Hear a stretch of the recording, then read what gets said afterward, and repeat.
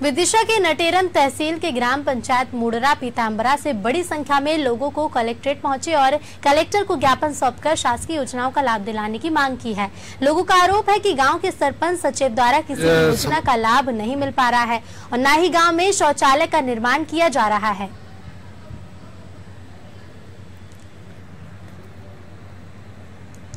Latrine bathroom दोनों कुटी, पंद्रह साल हो चुकी, कुछ भी नहीं हुआ, मैं विकलांग आदमी, पच्चीस लोग मेरे साथ आए हैं, कुछ भी काम नहीं हुआ पंद्रह साल से।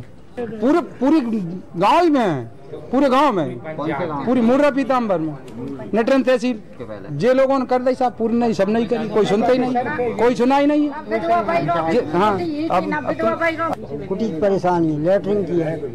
कई गरीबों के परमट नहीं है। कई गरीबों ने परमट बन गए लेकिन आज नहीं मिल रहा। क्यों नहीं निकल रहे?